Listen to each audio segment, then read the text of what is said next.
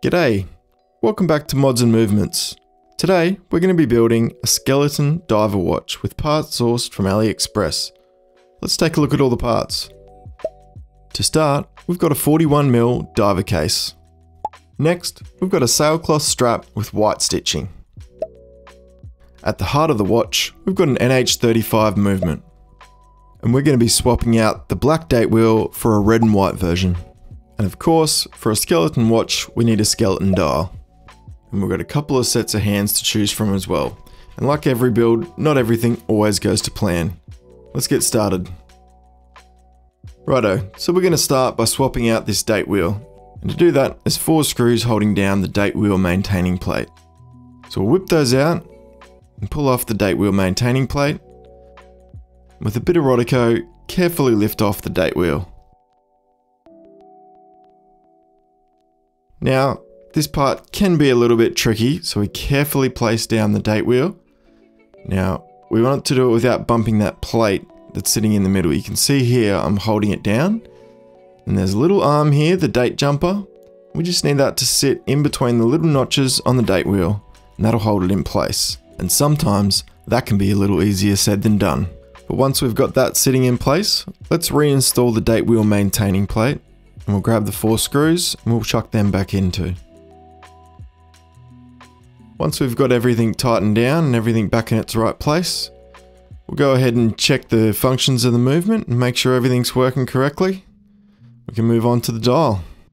So the dial's where I actually had the first of my issues. So because the case is a, a 3.8 case with the crown at the 4 o'clock or 3.8 position, you need to make sure you remove the correct feet on the dial, and I accidentally removed the wrong feet. So I'll be removing all the feet and I will be using dial dots. The next issue I came across was actually the physical size of the dial. It actually says it's a 28.9 mil dial and the case says that it will fit a 28.8 mil dial.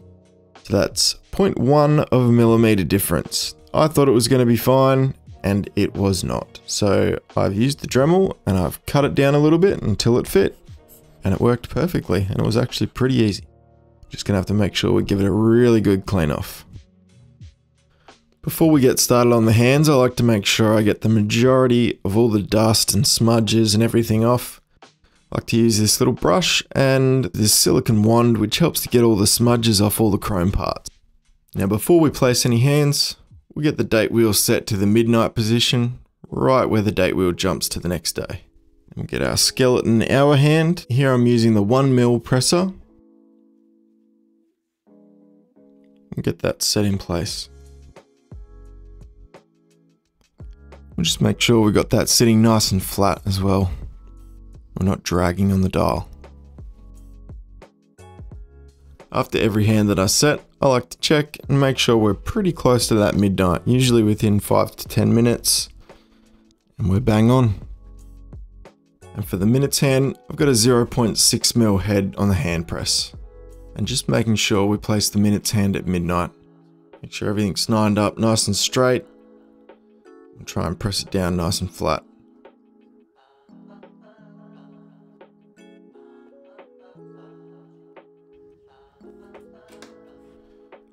We'll check again to see where midnight is.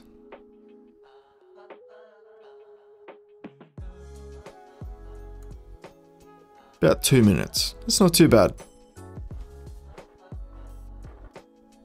Now we'll move on to my favorite hand, the seconds hand. So we just got to make sure that's sitting right on that pinion before we push it down.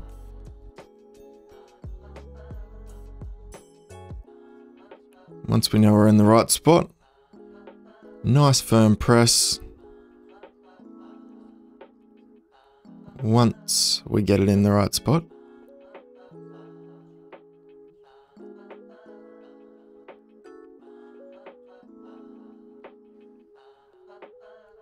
Super satisfying. Now let's check all the functions are working as they should. Perfect. Now just one final check check midnight. We'll see where we've ended up. Bang on. Pretty good. Our next step will be getting the movement cased up and ready for final assembly. But before we do that, we're going to clean the case and crystal down, make sure there's no lint or dirt, and make sure everything's nice and clean. Blow off all the lint, wipe all the smudges off, Rodico, try to pick up any extra lint that I can see through the loupe. And basically just repeat that process a couple of times, looking through the crystal into the light, make sure we're all good, everything's clean. We'll get this movement cased up.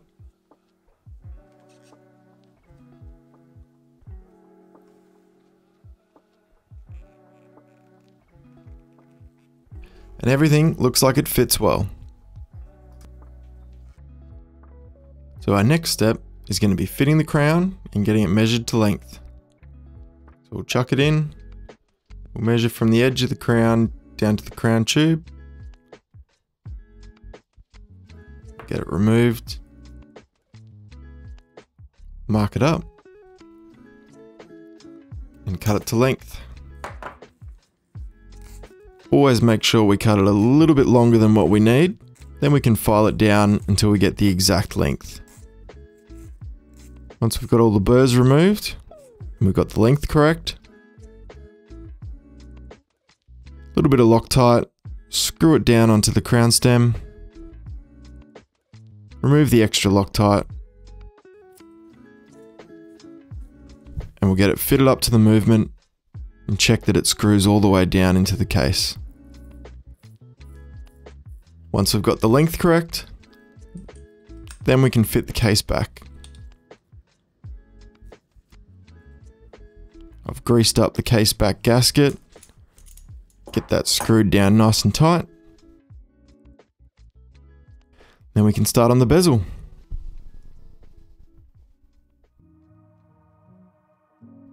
Remove the backing to the double-sided tape with the tweezers.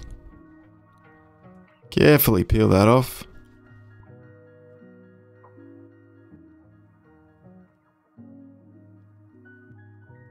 Then I like to line the bezel up with midnight. Then you know it's in exactly the right spot when you turn it.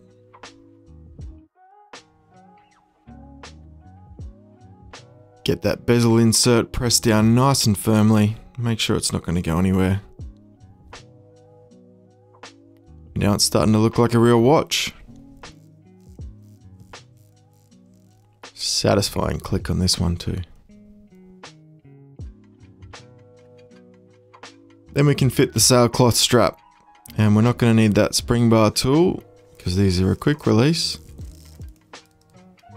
And that's it. Now to take it out for a wrist roll.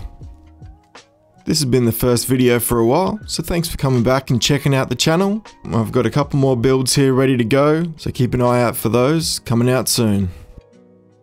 Like, subscribe, comment down below with any builds you'd like to see me do, and I'll see you on the next one. Peace.